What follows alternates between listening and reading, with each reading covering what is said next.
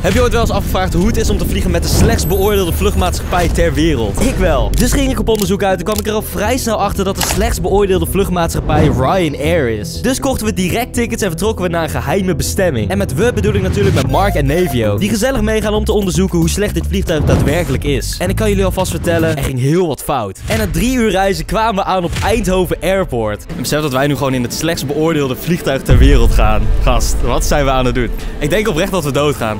Een vliegtuigmaatschappij die betaalt zeg maar voor jou hier. Ja, dat zit in je ticket mee. Ja. En hoe duurder de vliegtuigmaatschappij is, hoe meer privileges je hebt. Ik ben dus oprecht best wel een beetje zenuwachtig. Want ik heb dus wel een paar keer gevlogen in mijn leven. Ik denk echt twee, drie keer. En dat ging best wel goed. We gaan nu vliegen met de slechtst beoordeelde vluchtmaatschappij ter wereld. Dus eh, we gaan dood. Yep, en die zenuwen zijn niet compleet onverwacht. Voordat ik deze vlucht boekte, had ik namelijk al de reviews gelezen. Hier, check dit bijvoorbeeld. Online check-in werkt niet. Ter plaatse bleek dat ik 55 euro per persoon moest betalen om in te checken. Anderhalf uur vertraging. Anderhalf uur vertraging gekregen toen iedereen al op het vliegtuig zat. Online inchecken werkt niet. Het lukt ons om met geen ene mogelijkheid om online in te checken. Maar goed, na mezelf nog banger gemaakt te hebben, was het tijd om door de douane te gaan. En dat ging oprecht best goed. We lieten ons paspoort zien en konden vrijwel direct doorlopen. Het komt nu dus oprecht best wel dichtbij. En we maakten kabaal, jongens. Zo, ik word er zenuwachtig van. Ik word er bang van.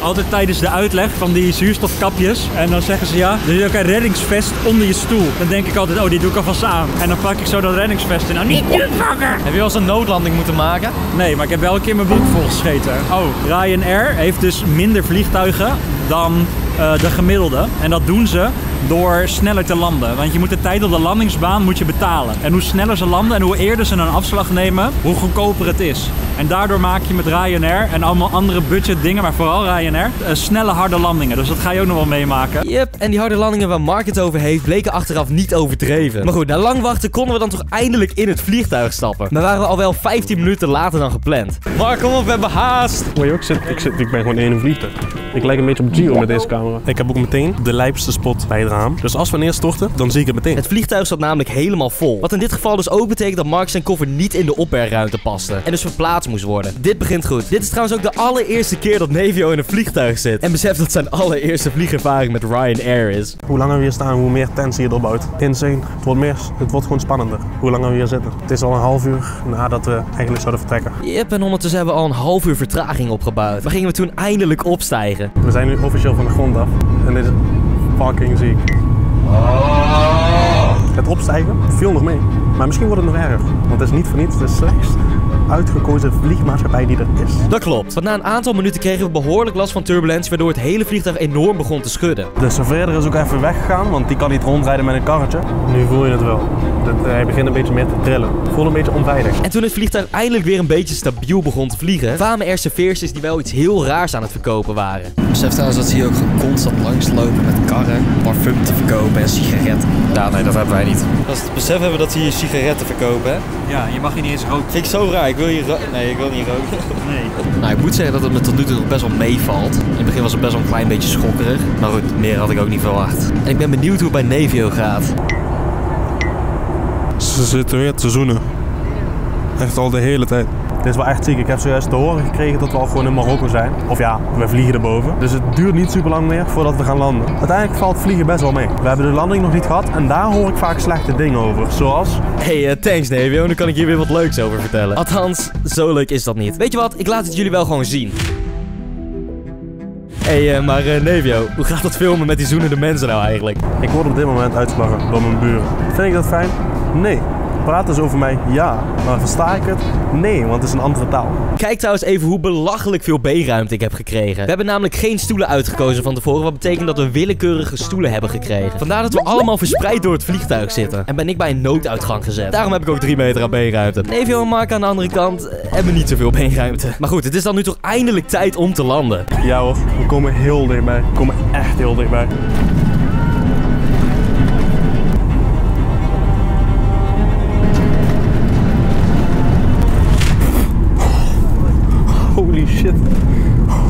Shit.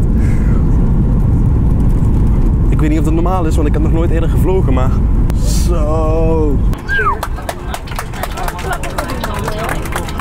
Allemaal geklapt, allemaal geklapt. Omdat we zojuist een slechte landing hebben gehad. We stappen het vliegtuig uit. En dat betekent maar één ding. We zijn in Marokko. Oh Ik heb geen reet meer over. Nee, ik ook niet. Pijn op plekken in mijn kont waarvan ik niet eens wist dat ik ze had. Ja, die landing was echt vreselijk. De landing was vreselijk, maar ik vond het oprecht meevallen. Ik heb ook geen betere vluchten gehad in mijn leven. Nee, dus dit wordt waarschijnlijk ook gelijk de slechtste vlucht die je ooit in je leven gaat hebben. Dat is alleen maar positief, want dat betekent dat elke vlucht hierna juist beter gaat zijn. Nou, ik heb nog wel een leuke verrassing voor jullie. Over een paar dagen gaan we weer. Nee, wil je blijven? Nou ja, ik niet. Ja, want over precies een week vliegen we weer terug naar Nederland vanuit Marokko. Maar voor nu gaan we eerst even een week chillen, veel video's opnemen en lekker eten. maar goed, na die week moesten we natuurlijk ook weer terug. We namen een taxi naar de luchthaven, lieten onze paspoorten zien en vertrokken weer. Dit keer zonder vertraging. Besef dat we nu gewoon weer met de slechtst beoordeelde vluchtmaatschappij ter wereld gaan vliegen. Als ik nu niet dood ga, dan ga ik nooit dood. Ik weet het zeker. En besef dat Marcus gewoon helemaal voor in het vliegtuig gaat zitten. Of gaat hij achterin? Ah. Bye bye. Ik mis Mark nu al. Ik ga huilen. niet naar week. Maar scheelt, we hebben al een klein beetje ervaring. Kijk, het leuke is, het heet wel Ryanair en niet Ryan stort naar de grond. Dus ik heb nog vertrouwen. Ja, ja, ja, ja. Toen overkwam mij het. Er was geen plek meer voor mijn handbagage. Dus werd deze meegenomen naar achter en zorgde dit later voor nog meer problemen. Hier later meer over. Ik ben dus ergens anders gaan zitten en ik weet niet of hier mensen gaan komen. Maar goed, er is gewoon letterlijk geen plek meer.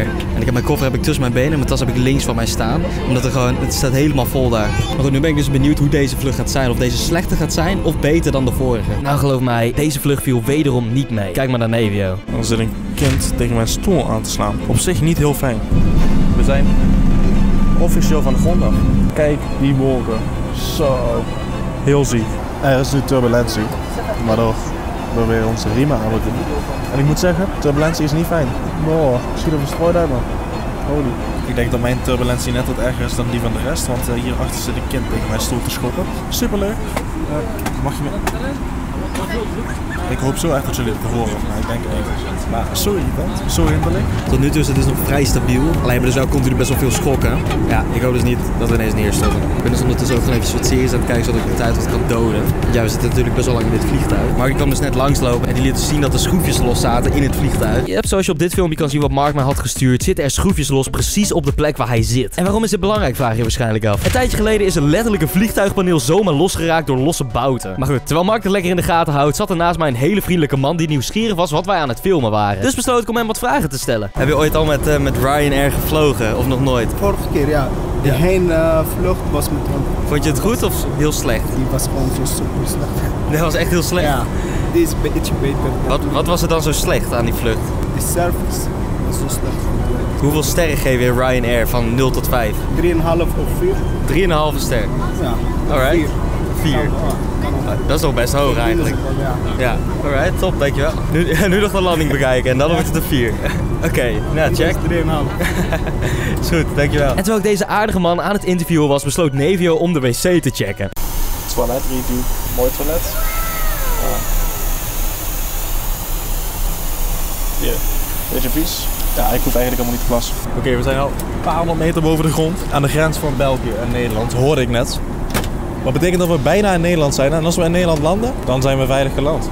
En als we buiten Nederland landen, dan zijn we neergestort. En toen was het dan toch eindelijk weer tijd om te landen. Ja, we gaan landen. Moment van de waarheid. Gaan we dood. De de. Dan vallen we letterlijk neer. Ja, dat is geen goede landing. Het is hetzelfde vorige keer, toch? Ja, ja, ja. Hoeveel sterren is het nu? Drie. Hij mist nog net een half. We leven nog en we zijn veilig en dat is het allerbelangrijkste. De vlucht zelf was gewoon een drie sterren. De landing, één ster.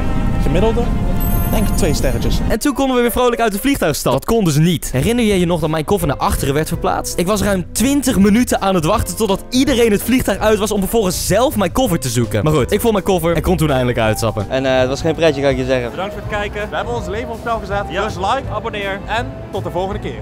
Houdoe. Yo.